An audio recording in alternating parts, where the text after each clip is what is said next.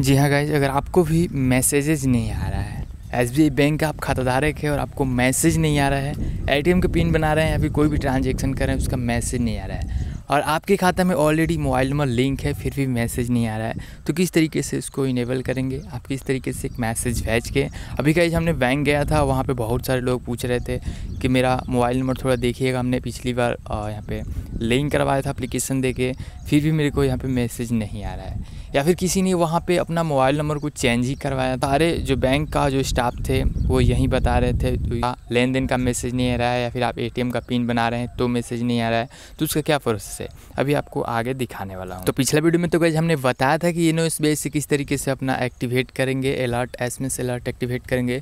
वो प्रोसेस थोड़ा लंबा है। अभी गैस हमने ब्रांच गया था तो यहाँ पर बहुत ही ईजी यहाँ पर ये लोग तरीका बता रहे थे।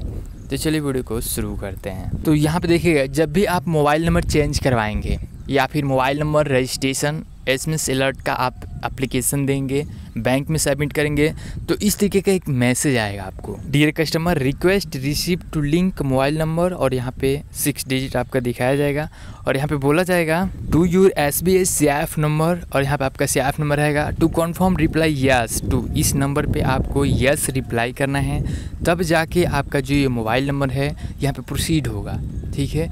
अभी यहाँ पे रिक्वेस्ट ही मिला है। ठीक है तो इस तरीके के मैसेज अगर आपको नहीं आया है तो भी कोई बात नहीं है। अगर आपको मैसेज नहीं आ रहा है और आपको पता है कि हमने मोबाइल नंबर लिंक करवा दिया है तो इस नंबर पर आपको सिंपली यस रिप्लाई करना है। ठीक है तो पहले गई एक और नंबर था जिस पे मैसेज करना होता था। अभी गई नंबर यहाँ पे चेंज कर दिया गया है। आज के डेट में जिस नंबर पे मैसेज करना है ना, वो ये वाला नंबर है। ठीक है तो किस तरीके से करना है, मैं आपको लाइव ही करके दिखा दे रहा हूँ। तो उसके लिए गई मैं अपने मोबाइल के मैसेज वाला सेक्शन में आपको जाना है। और यहाँ पे स्टार्ट चार्ट का एक ऑप्शन है, मैसेज भेजने के लिए। स्टार्ट चार्ट पे क्लिक करेंगे, यहाँ पे टू का एक बटन आएगा आगे, और यहाँ पे मोबाइल नंबर, उसके बाद जो ऑप्शन है, वहाँ पे मोबाइल नंबर डालना है, और फिर सेंड करना है, और इस इंटरफेस पे आप आ जाएँगे, ठीक है? मोबाइल नंबर डाल के नेक्स्ट करेंगे, इस मैसेज पे आएँगे, और इस वाला नंबर पे यस मैसेज करना है, ठीक है?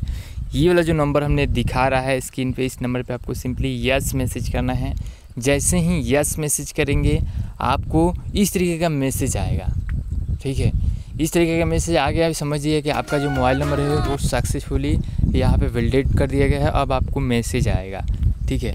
पहले लेन देन का मैसेजेज नहीं आता था या फिर एटीएम का पिन बना रहे थे तो मैसेज नहीं आता था।